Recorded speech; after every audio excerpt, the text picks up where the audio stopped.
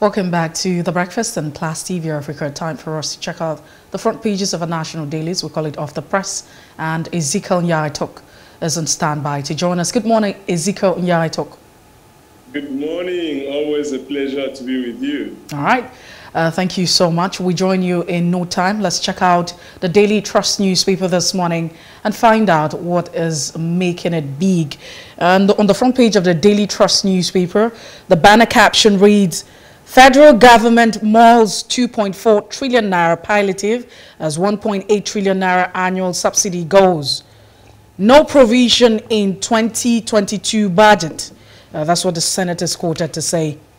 5,000 naira transport grant for 6 to 12 months. Minister is also quoted on that. No template to reach the poor. Labour knocks government, says palliative uh, is a bait. EFCC places Anambra Governor Obiano on watch list. Reps probe 97 billion naira federal government cancer control project. A Nigerian air to commence operation April 2022. The federal government is also quoted on that and talking about the West African Senior uh, Certificate Examination. Pay your debts, NECO tells state government. 2023 Throw presidential ticket open. Babangida Aliyu tells the People's Democratic Party. And ramping students stone DPO in Ogun State. Uh, it was really, really sad incident. You could actually see pictures. I saw pictures of that yesterday. Uh, that's the much we can take on the Daily Trust newspaper this morning. All right, away from the Daily Trust, uh, we'll move on next to the Daily Sun. The main headline for this morning, uh, bandits on rampage in five uh, Niger communities uh, with a rider there attack, gang rape uh, women. Federal government hasn't paid Abia any dime on federal roads according to the governor there that Ikpeazu just beside uh, Masthead. Uh, Imo government indicts Okorocha family, confiscates property with two riders. Returns uh, seized land to owners, accuses him of sponsoring insecurity in the state. Just beside the pictorial there, Governor Babajide Sanwo-Olu uh, of Lagos State presenting the 2022 budget estimates to the State Assembly in Ikeja just yesterday. Subsidy uh, Senate counters federal government says 5,000 naira not captured in 2022 budget. All right, Economic Affairs gets lion's share as Sanwo-Olu present 1.38 trillion naira budget for 2022. Nigeria receives looted Benin Ife artifacts from U.S. Museum. At last, Air Nigeria takes off April 2022. Subsidy almost hitting 3 trillion naira annually, laments federal government. President Joe Pano recommend integration of civilians in new security architecture. National Assembly spends 1 billion naira yearly on fruitless constitution review that's uh, according to Edwin Clark. Challenges uh, Buhari to act on APC restructuring report. Now, bank fraud perpetrated by insiders, according to the EFCC, says rate at which young men are engaging in cybercrime seriously alarming. Kano MASSOB hits Northern Coalition. Those are all the stories you can find on the front page of the Daily Sun this Thursday morning. Let's check out the Daily Independent newspaper and uh, the bold caption reads, we can't control threats in our cyberspace, stakeholders are quoted to say.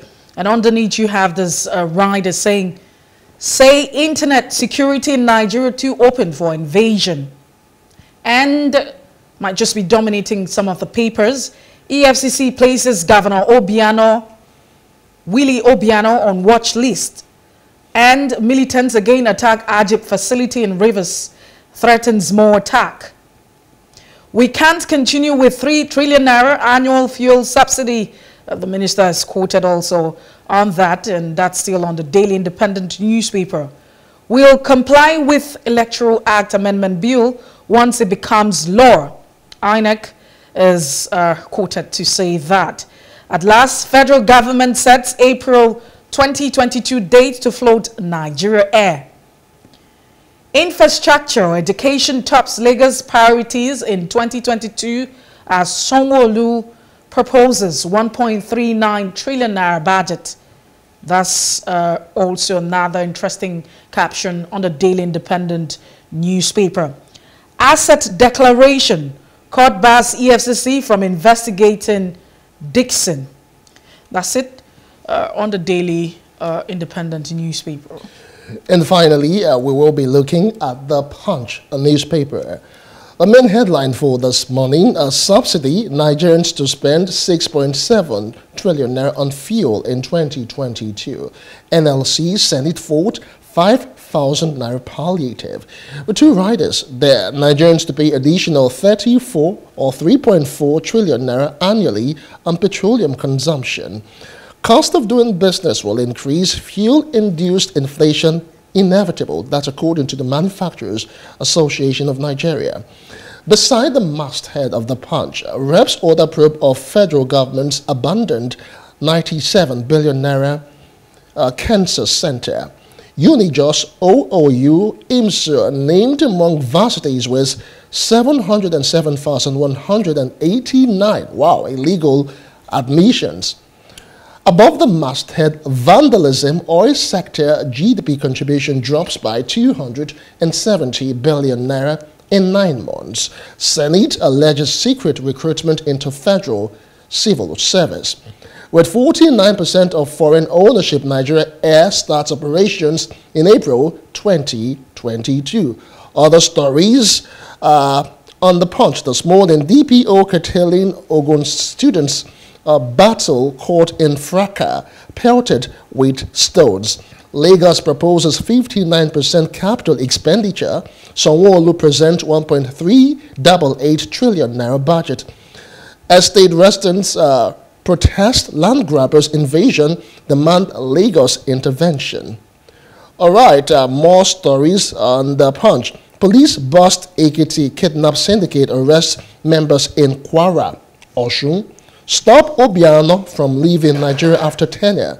EFCC tells immigration. And the final story there this morning, police recover body of Jonathan, ex-AIDS abducted brother in Kwara. Bush. Those are all the stories you can find on the Punch newspaper this morning. Well, uh, we just uh, go head straight to uh, speaking with Ezekiel Nya-Etok this morning. Ezekiel Nya-Etok, thank you for joining us. Again, Thank you for having me. I will always say that. It is our pleasure.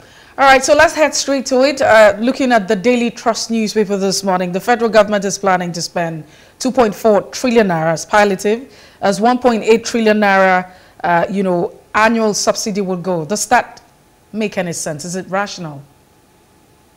Absolutely senseless. I will say this with every sense of responsibility. The reason is simple. You cannot pay 1.8 trillion. At the same time, in the papers, we see that they are saying that the, the, the subsidy is getting to 3 trillion. So the first question is, which is the correct figure? Is it 1.8 or is it 3 trillion? Now, if it is 1.8, if you cannot pay 1.8, then how are you proposing to pay 2.4? It doesn't make sense. If, on the other hand, it is 3 trillion, and then you now say you bring it down to 2.4 trillion, one can say, okay, but let's look at the differential of the 600 um, million. Is that where the problem is? But the official figure has been 1.8 trillion. So the question is, if you cannot pay 1.8 trillion, how come you now want to propose 2.4 trillion?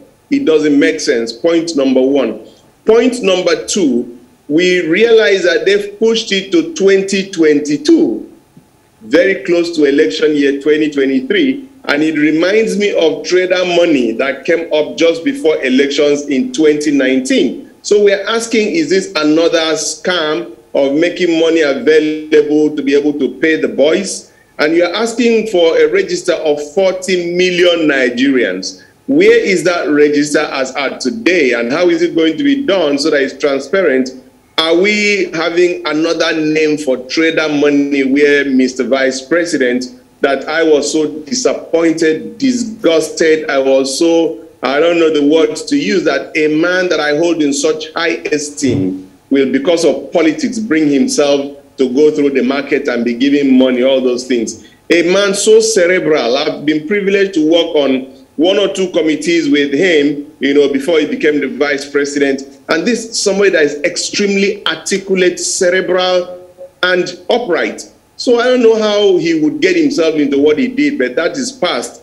But I hope he is not indirectly endorsing another scam or scheme that is politically motivated. That is the second thing. The third thing is, please, somebody tell me, this is a policy and at a budget defense going on. It has not reflection in the budget. Is it something that just came up immediately, or is it something that is thought through? And if that is the case, which of the budget lines am I finding it reflected in? I can't find it. It just brings that main question Do people understand what governance is all about? And I think as we continue, I would like to say a little bit more, but let's continue because this is one matter we must interrogate. Do we as Nigerians really understand what governance is, what government is? Do we know that there's somebody called a driver, and that if you buy a vehicle, you must look for a driver to drive, and not a mechanic, and not a carpenter? We understand that when your electrical gets bad in the office or in your house, you do not look for a carpenter. You look for a mechanic, what they call an electrician. Now, do we know what government is? Do we know what governance is? Do you know the people that should be in government? Have we been able to draw a line between politics and governance? That's why a Nigeria that is so blessed has that ignoble tag of the poverty capital of the world. The time has come when cerebral people, you and I, must wake up and answer these questions. Okay, but Ezekiel Nya-Etok, before we move away from this, uh, you, you have economics or those, uh, you know, economic experts saying for government to remove subsidy, government would need to put some measures in place. They need to put some structures. And, and this actually looks like, you know, making provision, uh, you know, for, to cushion the effect of um, subsidy removal. It's not about economics. It is just commonsensical. What is government? Chapter 2, section 14, subsection 2b of the Nigerian Constitution states without any ambiguity that the security and welfare of the people shall be the primary purpose of government.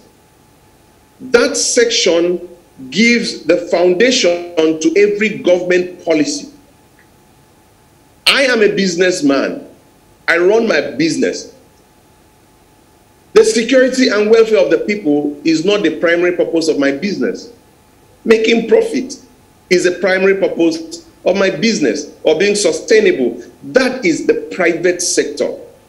Now, government is about security and welfare of the people.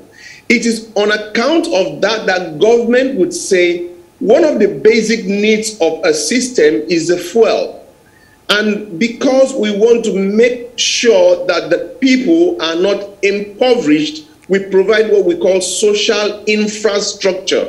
We build hospitals and call them general hospitals. We build roads, we build schools, and nobody pays tolls on going on the road. We subsidize a lot of things for the people to be able to live a life within a reasonable context without the consequential hardship. That is government. So if you want to remove subsidy, it is just commonsensical. It's not about economic policies that you will now ask yourself, is this something that has overrun its stay, so there's really no need for it? We no longer have malaria, we no longer have polio, so we kind of dismantle the structures Or is it something that we cannot afford to continue to do? So as a result, we are giving an alternative so that that consequential hardship is kind of cushioned. So you put in place their own consequential, uh, their own cushion is to say we are going to be giving five five thousand naira to two million people. This is the most stupid thing I've heard in my life. Economy thrives on productivity. 5,000 comes to almost 200 billion monthly that goes into what? Voicemail. Imagine if they said, Nyaito, please put a team of people together. Let us see this 200 billion that we are proposing. What can we do by way of setting up the MSMEs, you know, by way of setting up productive ventures, by way of putting up things to engage our youths. We cannot afford 200 billion, but let's take 50%, 100 billion, let's say about 3 billion to each of the states every month. What can you do about youth engagement? What sort of cottage industries? Guy, I, I, I put up a little post on my Facebook page and I said, look, with about 50 to 100,000, what can you do? In fact, with 10, 10 I started from 10,000. Overnight, over 800 people applied. 800. I just thought, well, this is this Facebook stuff. I said, if you are serious, no transport for you, nothing, come down to my office. About 500 people showed up. I used one week, morning till night, seven days, to interview people every day and tears came down my eyes when I heard what Nigerians, Akwa Ibomites, could do with 10, let's say 20,000 naira. They, I now brought it the highest amount to be 50,000 naira. These guys gave me it on record, mind-boggling, you know, ventures. I could only accommodate about 100 people because of the funds I had. And so many of them have paid back that money. 50,000, 50. Because I started with a hundred thousand, I couldn't accommodate more. I'm a private person. I brought it down to fifty thousand. Imagine you talking of two, three billion. It means that at three hundred thousand, I have one thousand people monthly to give them three hundred thousand naira. Imagine what Akwa Ibom will turn into. All right, Mr. Imagine how our youth will be engaged. And then they now just want to carry this 200 billion and give ghost people, which you don't have a register, you don't have anything. How are we thinking as government? It bothers me. All right, uh, other um, stories are making headlines this morning. Let's just uh, slide over to the Daily Independent. The main uh, story for them this morning is uh, we can't control threats in our cyberspace. That's according to stakeholders. Um, say, uh, say internet security in Nigeria too open for invasion. I just want to get your quick comment uh, concerning yeah. that. Look, there has to be a national policy that every youth must carry a laptop. Today is the reverse. You carry a laptop, the police will pounce on you. But the way of the future is the laptop. The way of the future is ICT. Instead of Mr. President being the Minister of Petroleum, he should be the Minister of ICT because that's the way of the future. Look at what young Nigerians are doing, the unicorns. If you come to a place like Lagos or Uyo, you'll be amazed. As a policy, the Nigerian state must introduce that every child must understand one computer language from primary school, the way it's being done in Poland. So much so that at secondary school, the children working with offshore companies are making more money than their parents in Poland today. I had the um, AIT no MD on my birthday, and the, I think the mother is Polish. When he, he put certain things across, I mean, I couldn't close my mouth. And we have a nation where children are being hounded for carrying laptop.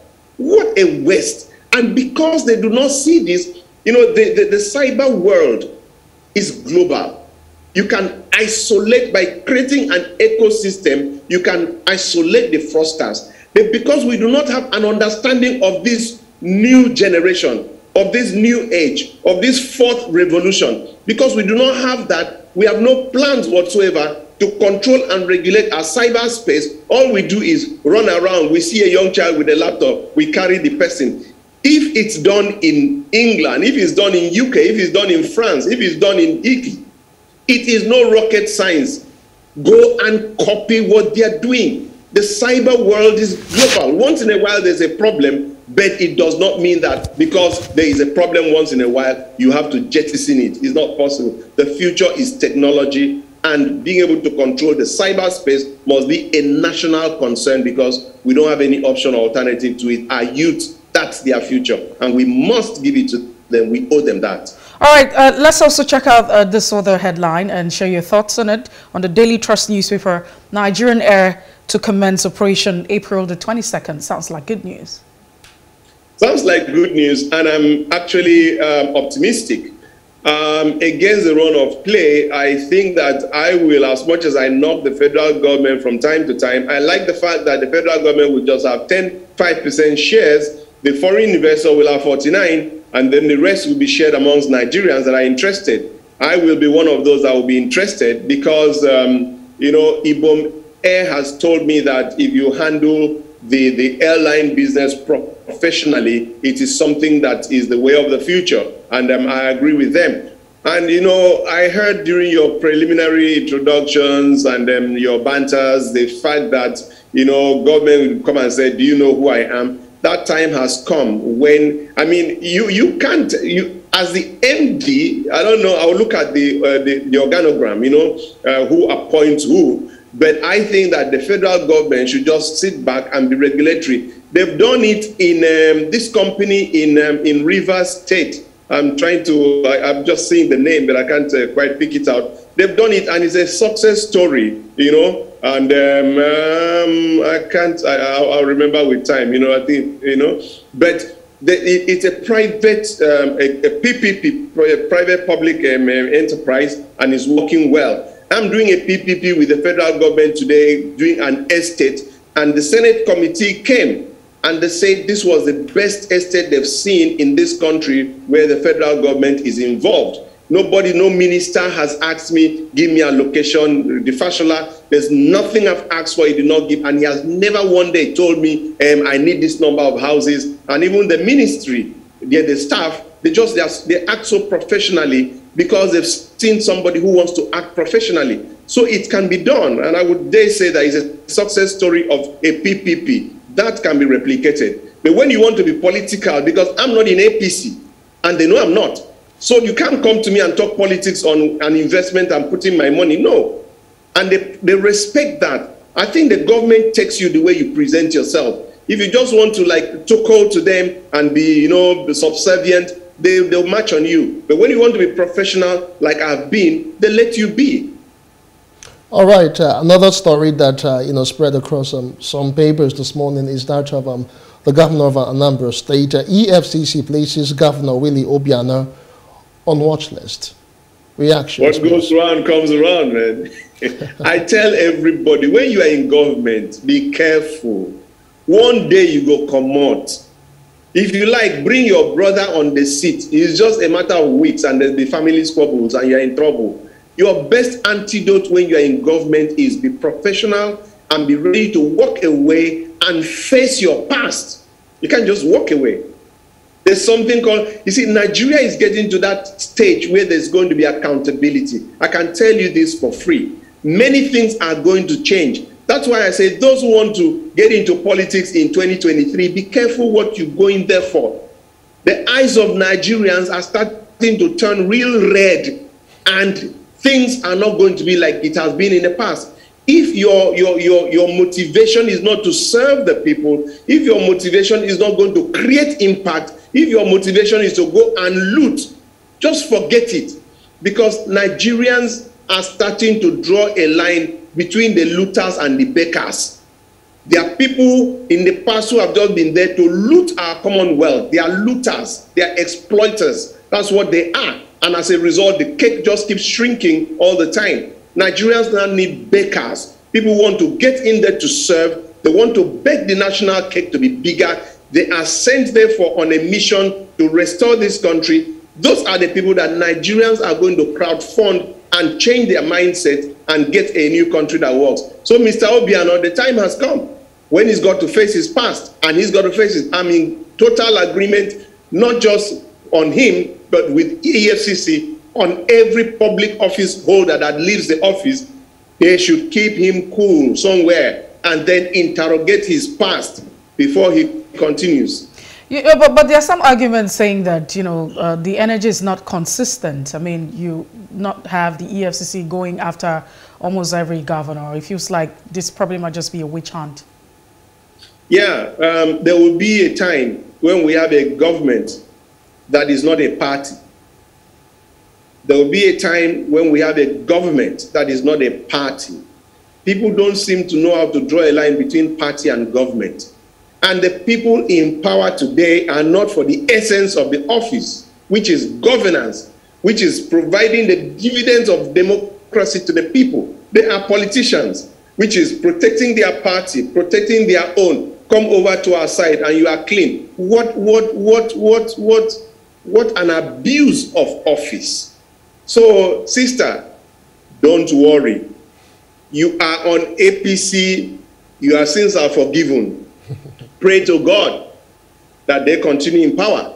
Even when they continue in power, the Bible says there arose a Pharaoh who knew not Joseph. It always happens.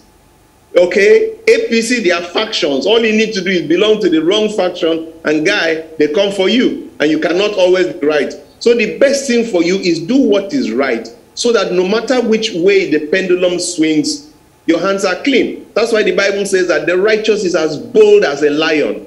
Mine is do the right thing. Don't take solace in changing the party. Some days back, I was told that my friend uh, Fani-Kayode has been um, called for private chat. I thought they said that once he gets to APC, that the sins are forgiven. But they say they don't call him for private. I don't know whether he went there and got stubborn. I don't know what it is or what it is. But the fact is that do the right thing and then stay clean. All right. Uh, another story that is making headlines. Uh, that is becoming very troublesome or worrying right now is uh, that of a renewed militancy. As a caption here in the Independent, militants again attack Agip uh, facility in Rivers, threaten more attacks. You see, some of us were the key actors in bringing peace to the Niger Delta. I was the person that was in charge of the restoration of the Gbaramatu Kingdom. I was a consultant on that project. And there were several things we, we did to assuage the feelings of the people. The, the, the, the Niger Deltans felt really, really hard done by the federal government. And the way to express their grievances was for them to like take up arms against the system. Unlike what we have where human beings are being slaughtered and all sorts of rubbish, they felt if they touch the system a little bit, that they will wake up. And to some extent, I think it worked. Okay. Now, of recent, instead of maintaining the peace, what you find is something infuriating where you say if you find oil, you become, you know, Niger Delta, okay, NDDC, okay. Now they miss the essence of the NDDC. It was not a reward system per se, it was a system set to ameliorate, as it were, the decadence in the society, in the system, in the ecosystem over the years. So this money was to see to what extent they can get the environment, the people, kind of rehabilitate them or kind of create some level of succor for them. So it was not just because you are oil producing, they dash you something. So when you see somebody that has just come in and has no environmental degradation or impact whatsoever, and you say share the money, I think we're not thinking through the process. You can set up another system that kind of takes care of environmental degradation. And then you also set up a reward system where you say if you produce oil, you get this amount of uh, percentage. Those are different compartments. But don't come and say the 13%, which is not for oil production per se, but to undertake remedials for the degradation of the environment over the years. where the people have lost their means of livelihood, they've lost everything that has to do with them, they've been exposed to a lot of health hazards over the years. So see how we can use these funds to ameliorate, as it were, their, their, their, their plight.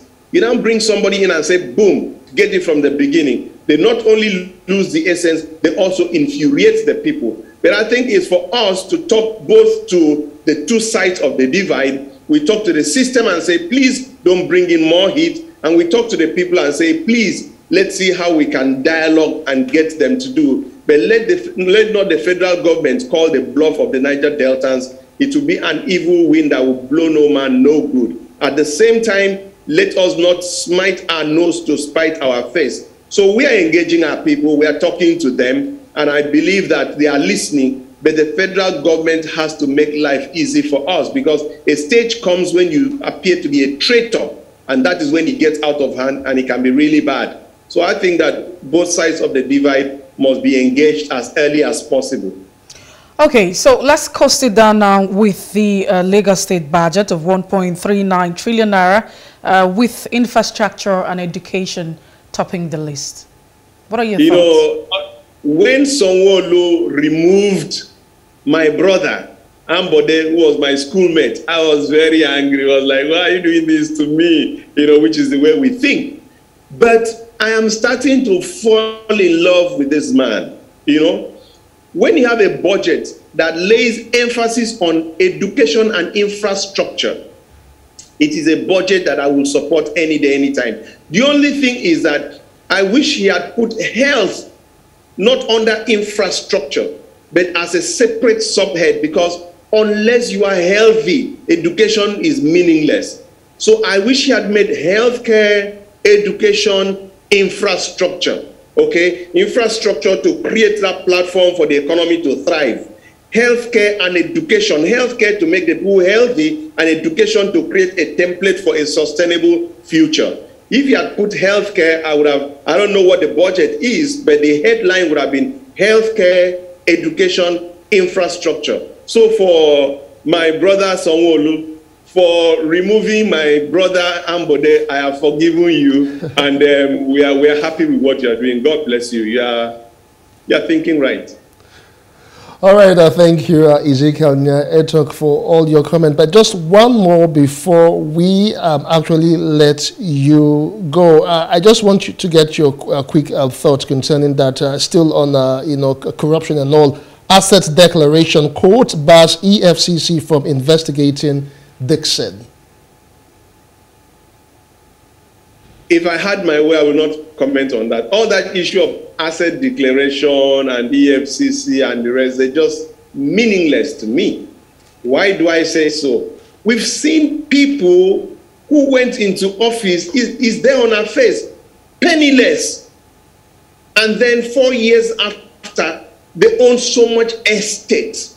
So what is what's this ritual of asset declaration and this and that? They are just tools that you just keep, you know, then you can pull it and intimidate. I really don't have faith and confidence in all this asset declaration because it's all over our faces. It's there. It's there. Call any politician and I'll say, what did he have before he got into office? How did he suddenly, you were a, a, a, a, a lecturer we know what your salary was. We know where you were living. We've seen you for the past 20 years. We've known you. And then you get into office and you come out, and the first thing is you get into Shelter Africa Estate, and then boom, there's this mega house that you have, and the, your children are now schooling abroad bros wetin be your salary so what's all this ritual that uh, about so that the day you want to escape to another place or the way that they want they want to you to come to their side they just pull a piece of paper show it to you and then you kind of sing start singing a new tune. It, it's something that is more vindictive. People are not afraid of it. It's like look just play the game and you are good to go. So i'm not i'm not really as excited as people would expect me to be. I'm not but a day will come when we'll have a governance that is faceless as far as justice is concerned, where they don't care whose ox is God, where you've got to do the right thing. If not so, you do the crime, you do the time. That day will come in Nigeria in my time. I tell you this for a fact. So let them keep dancing naked. Arabanko, All right. them. Many thanks, Ezekiel Nya-Etok. Uh, thank you so much for making our time to be part of the conversation. We really do appreciate and we look forward to having uh, more of you. Thank you so much. Thanks for the privilege. I do not take this lightly. Thank you. All right, All right. that's um, the off the presser segment uh, on the breakfast this morning. We'll be taking uh, what happened this day in history, November the 25th. Stay with us.